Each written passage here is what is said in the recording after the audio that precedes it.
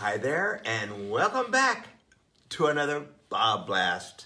Hi, I'm Bob Burridge, and this one is a continuation of the last BobBlast about cleaning your brushes, especially the ones that are really hard to do. You're gonna love this product. Many of you know about this. This is called CitraSolv. It's wonderful. Let me show you how it works for me.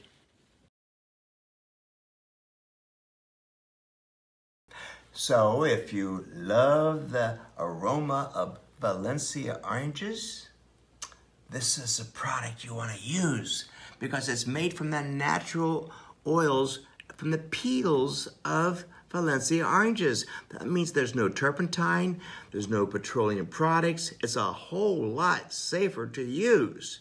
What I do at the end of the day is I take a cup, dip my dirty brush in it, swirl it around just like that, clean my brushes and my hands at the same time. Everybody's happy at that point, right? Then I rinse it off and ready to go the next day. But wait, there is more things that happen here.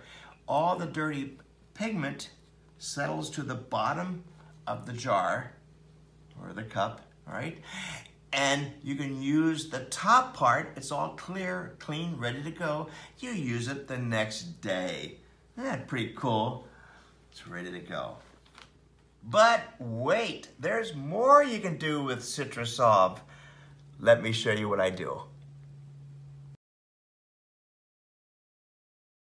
Now this comes as no surprise to us collage artists and abstract painters.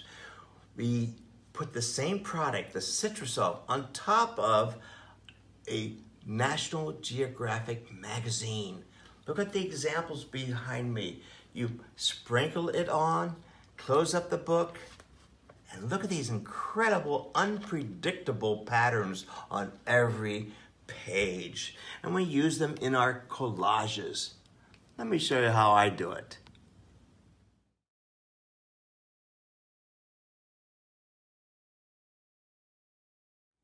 It's quite simple, but follow these instructions. You just take a few drops of the CitraSolv, open up a National Geographic, and you sprinkle just a few drops, just like this, just a few drops on every page. Don't saturate it, don't use a spray bottle, just a few drops on every page, just like that. Then you close the book up, close the book up like that, push it down, and in about a half an hour, you open up the pages and voila! This, believe it or not, is what comes out of those pages because it dissolves the ink. It's pretty cool. So they're pretty much unpredictable. Look at this wonderful collage papers. It dries within minutes, literally within minutes. And quite frankly, it gives me great ideas for other abstract paintings. I hope you enjoyed this. This is the way to use a natural product, CitraSolv, and not be affected by any petroleum products, just like that. So it's more of a natural way of doing collage work. It's what I like to do anyway. Hey, I hope you enjoyed this one. This was fun. I'll see you on the next BobBlast.